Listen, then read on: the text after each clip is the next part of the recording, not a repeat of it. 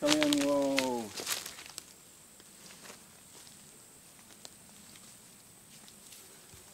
Kalyan, Kalyan, Kalyan, Kalyan, whoa. So what we've been working on recently is standing. Once you, when you're out working and you need to stop, you give them the command of whoa, which to them is supposed to mean that you stop immediately and you don't move until you're told to move. It's the most important uh, command and it's a matter of safety. It could also be a matter of life and death at some point in your time when you're working with oxen. Uh, it's been very hot here in north central Florida almost every day uh, between 95 and 100 degrees. So we picked this little spot of shade um, for him to be more comfortable in.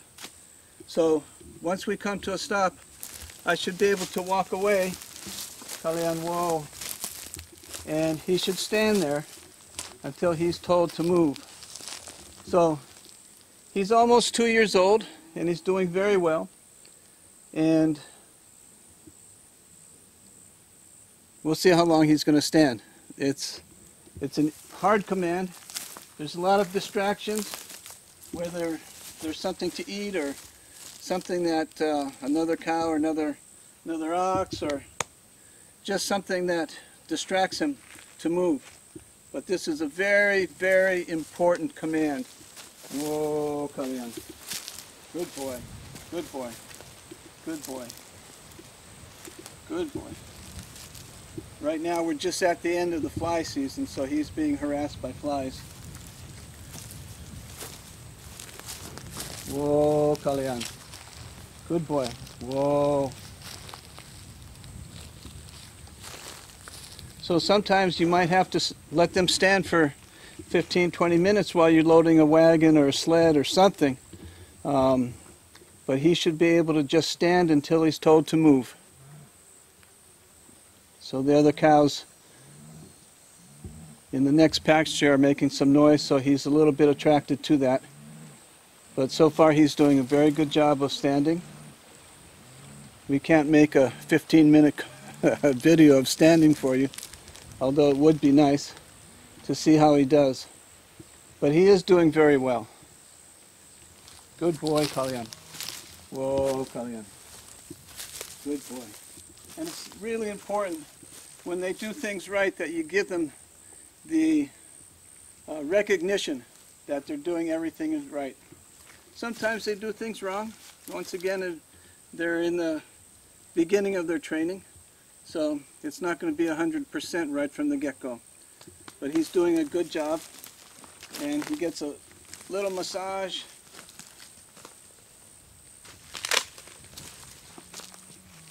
Good boy, Kalyan. Good boy.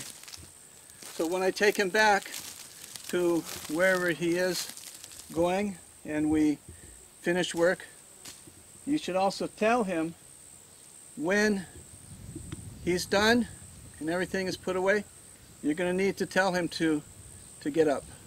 Otherwise, he's just going to stand there for who knows how long. I have a question. Yes. Um, how do you know when you've got the standing down as you know perfectly or as good as you should have it? Well, as time goes on and we do more and more work, more and more training, they will exhibit that they're going to stand. So it may take a while, um, and it depends on the animal also, and the relationship that you have with the, with the ox. But he's been standing here now for about 20 minutes while we are getting the camera ready and this and that and whatever else. But he's doing very good. He's just standing. So how often do you practice the standing? The standing can be practiced many times during a training session. You could do a left turn or a right turn, and then after they completed the turn, you can tell them to whoa, and then walk away from them. It could be done 10 times in a training session, 20 times. Now when we go back to the barn, he's going to have to wait while I open the gate. So that means we're going to get close to the gate. I'm going to tell him, whoa.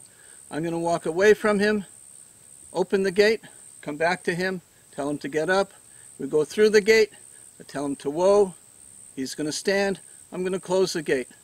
So there's many different times during a training session that you can practice whoa. The more the better. Whoa, you mean stand? Whoa means stop, and stand. You can use a, another word if you want for stand. You can say stand. But most people just use the word whoa to mean stop immediately and stand. Coming up. Coming ha, ha, ha, ha, up. Kalyan. Up. Whoa. Good boy. Whoa. Good boy. Good boy. Good boy, Kalyan. So this is a subliminal way of training also. That he's standing, he's getting a massage. So anybody who's had massage, they're not going to get up and, and walk away from it. Massage is, feels good, they're happy. So it's a bit of a subliminal training.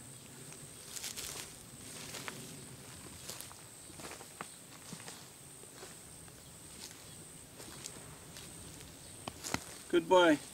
Okay, folks, thanks for watching. YouTube channel, hit the subscribe button.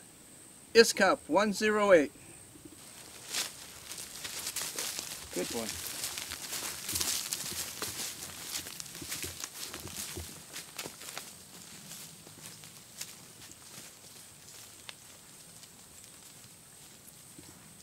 I'll come back and get you.